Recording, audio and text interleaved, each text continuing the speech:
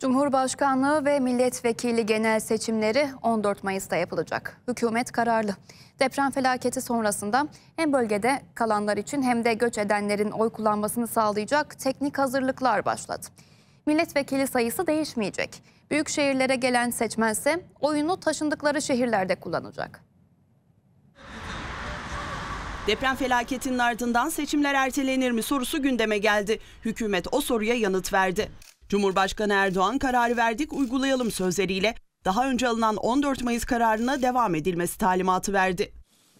CNN International'a konuk olan Cumhurbaşkanlığı Sözcüsü İbrahim Kalın'dan da konuyla ilgili dikkat çeken bir açıklama geldi. Kalın, önümüzdeki günlerde aksi yönde bir siyasi mutabakat olmadıkça eğilim seçimin vaktinde yapılması yönünde dedi. Seçim tarihi için şu anda 14 Mayıs'ta olacak gibi görünüyor ifadesini kullandı.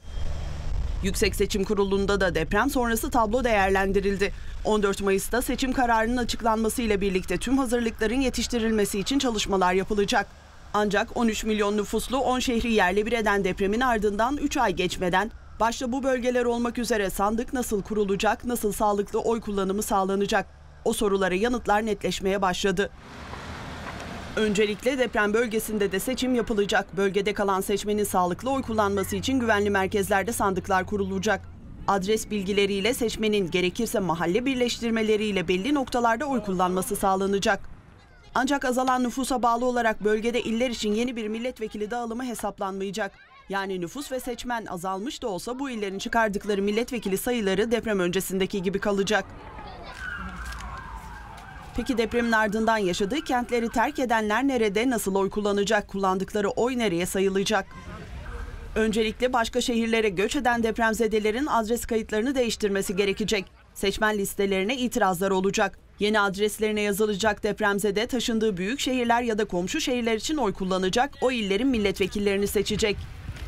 Kullandıkları oyun geldikleri ilin seçim sonuçlarına yansıtılmasının anayasal ve yasal olarak mümkün olmadığı kanaatine varılmasının bu kararın alınmasına neden olduğu öğrenildi.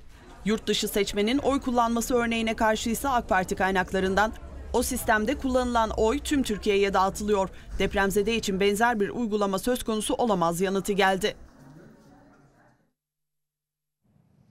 Altılı Masa toplantısı deprem felaketi nedeniyle ertelenmişti. 2 Mart'ta yapılacağı açıklanan toplantı öncesi İyi Parti Genel Başkanı Meral Akşener konuştu. İyi Partili Cihan Paçacı'nın Kılıçdaroğlu hakkında söylediği sözler sonrası istifa ettiğini söyledi.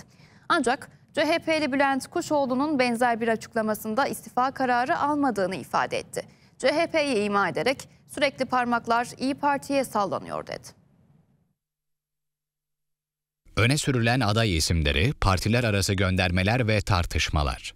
Altılı Masa deprem felaketi nedeniyle 12. toplantısını 13 Şubat'tan 2 Mart'a ertelemişti. 13'ündeki toplantıda plan aday belirlemekti. Şimdi ertelenen o plan tekrar gündemde. Toplantının ev sahibi Saadet Partisi Genel Başkanı Temel Karamollaoğlu, yeni turuna CHP Genel Başkanı Kemal Kılıçdaroğlu'nu ziyaret ederek başladı. Toplantı tarihi yaklaşırken İyi Parti Genel Başkanı Meral Akşener Fox TV'de konuştu. Aday belirleme sürecinde İyi Partili Cihan Paçacı'nın istifasıyla sonuçlanan krize değindi. Paçacı Kılıçdaroğlu'nun adaylığına ilişkin parti yetkili kurulları şu anda Kemal Bey'i onaylayacak noktada değil ifadelerini kullanmıştı. Akşener CHP'li Bülent Kuşoğlu'nun sözlerini hatırlattı. Kuşoğlu'nun Kılıçdaroğlu aday gösterilmezse masa dağılır sözlerinin ardından bir istifa kararı almadığını ima etti. CHP, İyi Parti arasındaki çifte standarttan yakınan Akşener, sürekli parmakları İyi Parti'ye sallanıyor dedi. Evet. Akşener altılı masanın adayını açıklamasında ise geç kalınmadığını söyledi. Masadaki partilerin yetkililerinden zaman zaman yapılan adaylık değerlendirmelerinin ittifaka mal edildiğini ifade etti. Bunları iletişim kazası olarak görüyorum dedi. İstanbul Büyükşehir Belediye Başkanı Ekrem İmamoğlu hakkındaki mahkeme kararı sonrası Akşener, İmamoğlu'na destek ziyaretine gitmişti. Bu sırada Kılıçdaroğlu Almanya ziyaretindeydi. Kılıçdaroğlu denklem dışı mı bırakılıyor sorusu gündeme gelmişti.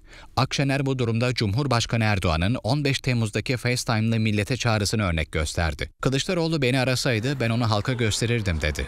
CHP kurmaylarını işaret ederek Kemal Bey'e ulaşamadım. Sonuç olarak terbiyesiz ve fırsatçı olarak suçlandım ifadelerini kullandı.